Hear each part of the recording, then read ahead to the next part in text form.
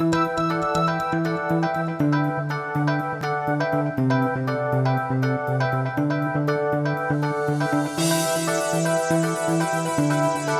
Austrian inventors to his own father, engineers have inspired Georg Kralik since he was a child.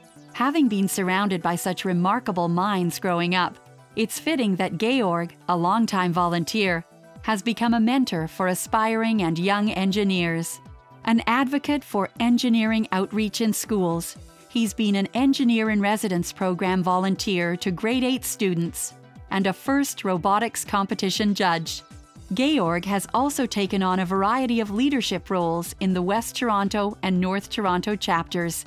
He's not only served as chair, vice chair, and committee coordinator, but has also participated on committees for the annual Engineering Innovation Forum, the Engineer in Residence program, license presentation ceremonies, and Women in Engineering.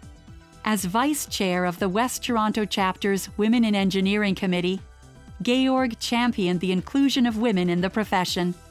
He continues to support and encourage efforts to increase gender diversity within the engineering profession. Georg cites seeing newly licensed engineers begin the next stage of their careers as the most rewarding volunteer opportunity, an experience he saw often as both the West Toronto and North Toronto chapters license presentation coordinator.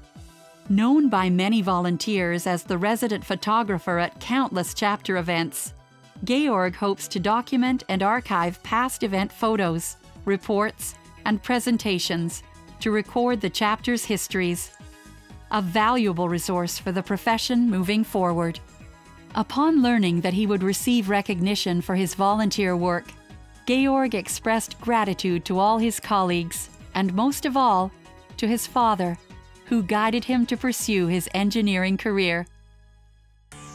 For his substantial and ongoing contributions to the profession, PEO is proud to invest Georg Kralik as a member of the Professional Engineers Ontario Order of Honour.